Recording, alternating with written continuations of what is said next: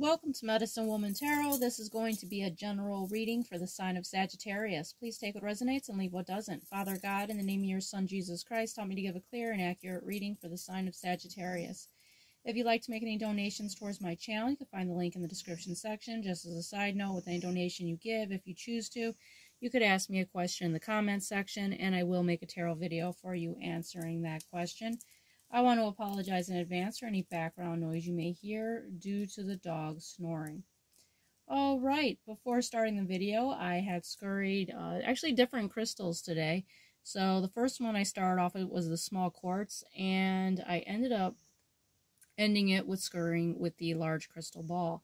Now, both came out with somewhat similar messages. Nothing else wanted to come through. But the first one that showed up for in the small one was in capital letters he. So H E. And then in the large one was the letter H as in hat, capital H. so that could be significant to someone out there.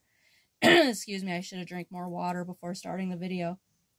But with the capital H showing up and he, so there's someone that is a male within your life, possibly, take it how it resonates, or that has the initial with H, or this could represent you. So take it how it resonates. This will probably be like a specific uh, message for someone out there. All right, now the cards I flipped out for you today is the Two of Coins. So with the Two of Coins being here, this represents balance. This is a choice to take. So you have two paths here, and you could choose the path that's going to lead you towards balance because there is some type of conflict here with the way the cards flipped out. Now, I will make the second half to the video if it clicks off. Now, with the Two of Wands being here, like I said, there's two choices here. And you are in the Queen of Cups energy, which is someone that's very sensitive, very connected to their emotions.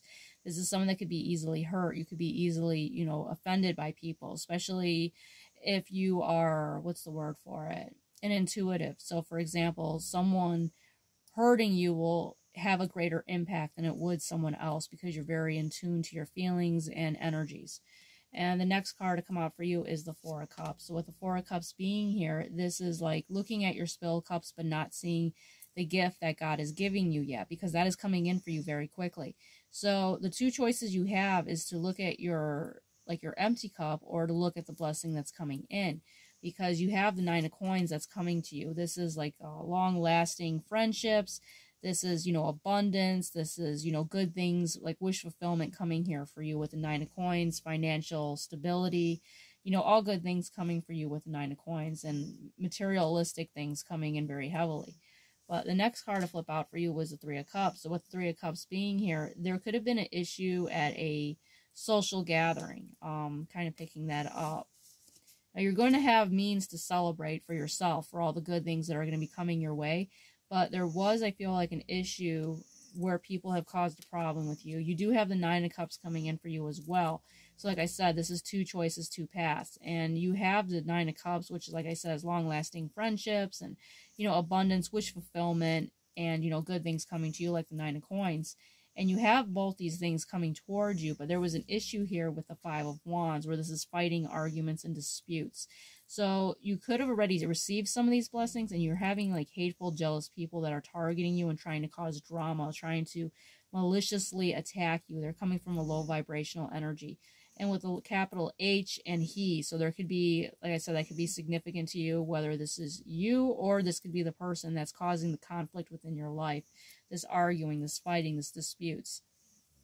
These people could be upset because you're doing well and like I said, if the video clicks off, I will make the second half to the video.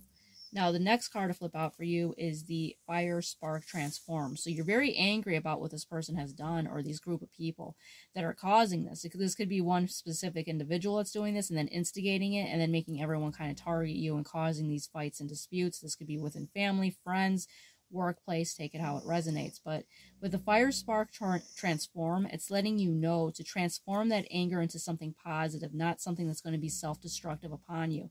So, for example, be in that Knight energy, you know, where it's good that you're defending someone or good that you're defending yourself, but be aware of the self consuming flame that will destroy you from within. And I will continue.